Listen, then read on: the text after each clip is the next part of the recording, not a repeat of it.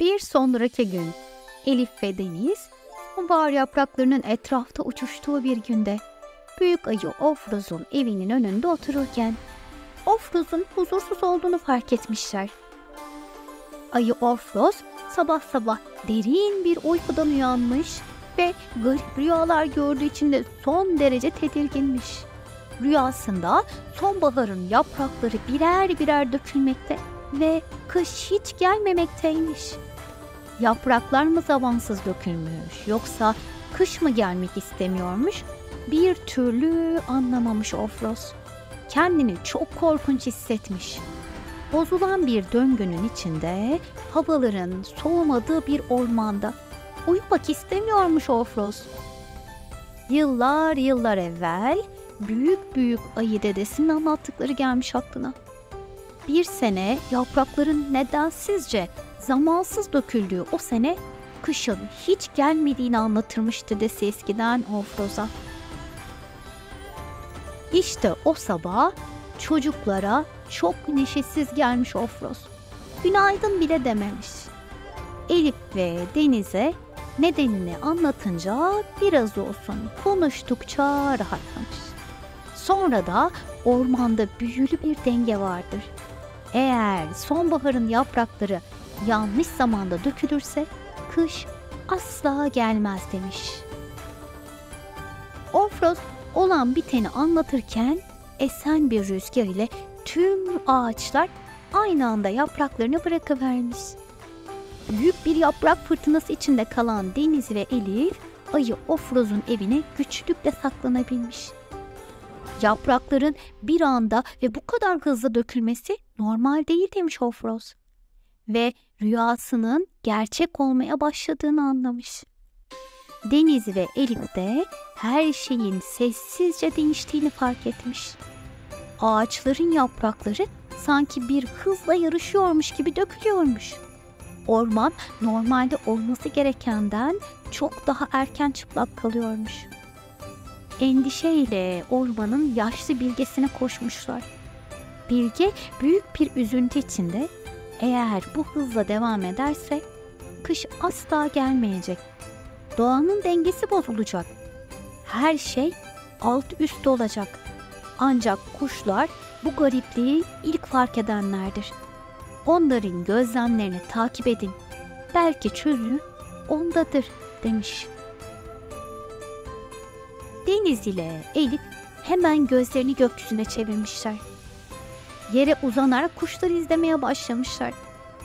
Gökyüzünde her zaman sakin ve düzenli şekilde süzülen kuşlar bu kez tedirgin bir biçimde uçuyorlarmış. Garip sesler çıkarıyorlarmış. Çocuklar kuşların göç hazırlığındaki huzursuzluğunu fark edince de bir şeylerin kesinlikle ters gittiğini anlamışlar.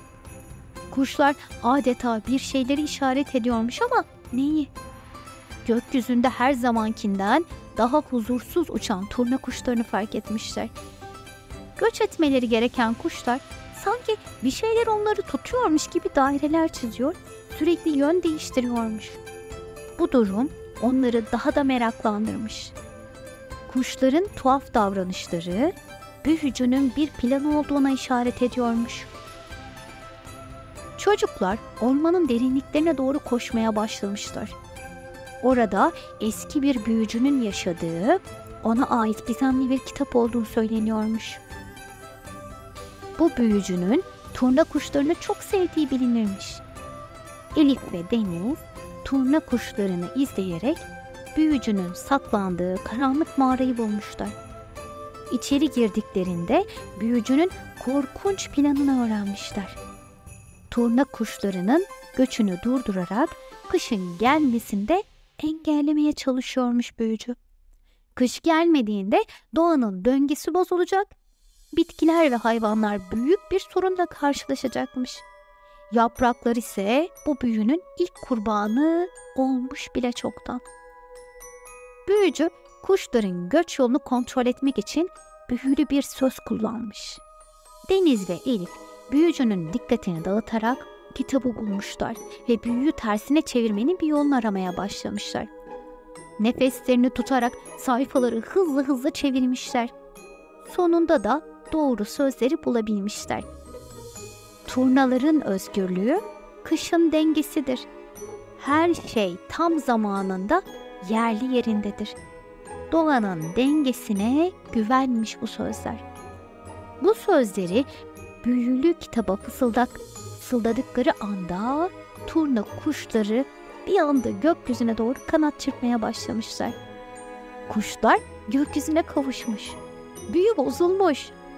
Yaprakların dökülmesi de normal ritmine geri dönmüş.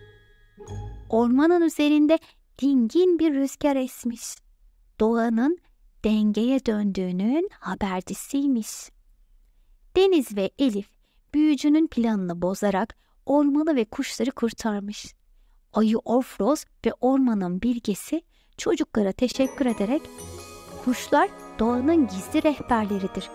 Onların göçü doğanın ritmini ve mevsimlerin dengesini korur. Siz onların özgürlüğünü geri vererek doğayı kurtardınız demiş.